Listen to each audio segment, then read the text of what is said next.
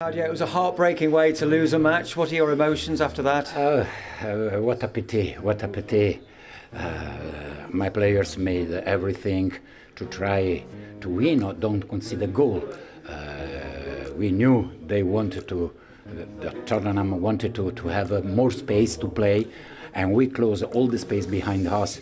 The first half, we had to play a little more better when we want to go in counter-attack. In the second half was much better.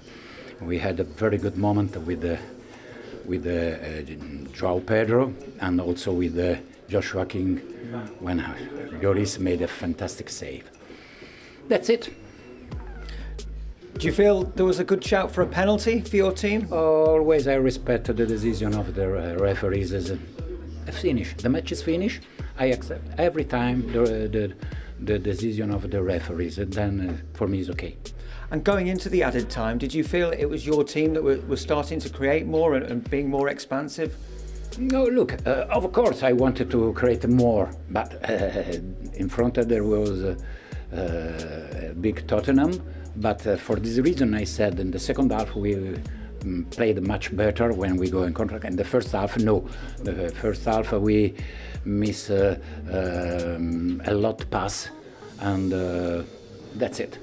There was a big delay towards the end while a member of the crowd was treated, and obviously all our thoughts go out to him. But do you feel it might have disrupted your team before no, the goal? I think I think uh, we are proud. Uh, I'm proud for my team, and uh, and I'm sure also the fans should be proud of the match of today. Did it give you something to build on the way your team performed today? Yes, of course. Uh, but now we are to think about everything. When you say that, think about everything, what do you mean? Everything. Thanks for talking to thank us, you, Daniel. Thank you.